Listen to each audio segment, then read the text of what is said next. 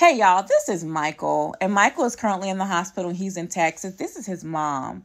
Now, Michael lost both of his arms, y'all, and we're praying that he does not lose his feet because the doctors are trying to save his feet. This is as a result of a flea bite.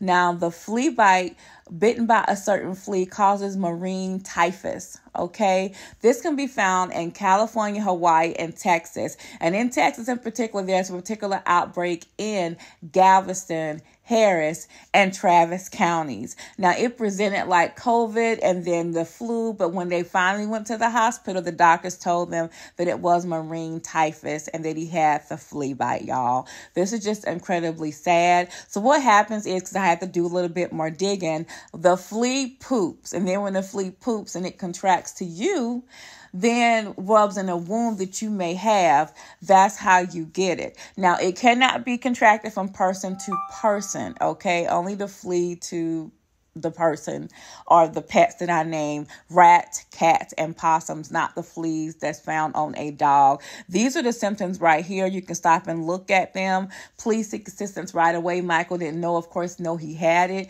and didn't seek assistance right away. As a result, they took a high blood pressure medication to to help get him well. Um, again, you're gonna have to watch the video to figure out how he got that from the high blood pressure medicine. I saw, um, I went and found the GoFundMe, y'all, because of course he has no medical insurance and he has a long road to recovery prayers and positive vibes. And if you're able to donate, then please donate. And again, let's pray that he does not also lose his feet. This is just so sad. Prayers up to you, Michael, and the family, okay? Such a horrible amount of pain every day um, is hard to watch to this day. Jaylene Hardaway says it's been difficult to watch her son, Michael Kohlhof, fight for his life in the hospital. The 35 year old Houston man went to visit his mom in San Antonio, who just had surgery. He wanted to help her out for a few weeks, but when he got there, he wasn't feeling well. We had, for a couple of days, taken COVID tests just to see if he might have had COVID. Um, then he had some GI issues, which prompted us to think it might be flu. On June 19th, Michael and his parents rushed him to the ER. By the next day, he was on a ventilator and his organs were failing. The doctors were able to confirm it was a severe case of typhus from a single flea bite. Medication used to raise his blood pressure saved him, but also damaged his hands and feet. As most body parts, if they don't get blood for a certain amount of time, you know, they uh, tend to die. And essentially, that's what happened to his hands. And now we're trying to see what we can save of his feet.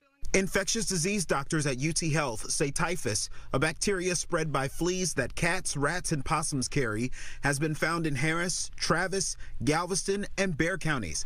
The symptoms are similar to the flu and can include a rash, but it's treatable. The problem is that some people don't realize they have typhus again because the symptoms look like other diseases um, and don't get treated. Um, but an antibiotic, cheap, um, can easily cure people. And luckily, there's no persistent or chronic form of the disease. Michael's severe case is rare. His family staying positive and praying for recovery.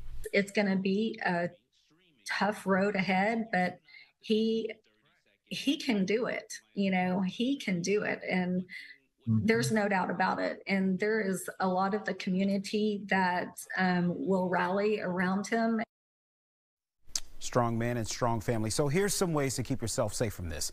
The doctor says to avoid flea bites and coming in contact with the animals that may carry them. If you have a pet, make sure they're being treated for those fleas and don't leave pet food outside that can attract those insects. Make sure you properly cover your outdoor trash cans and also wear EPA approved insect repellents when you're spending time outside. Now, Michael will have to take some time adjusting to this new life. And since he has no insurance, the family's relying on public support support.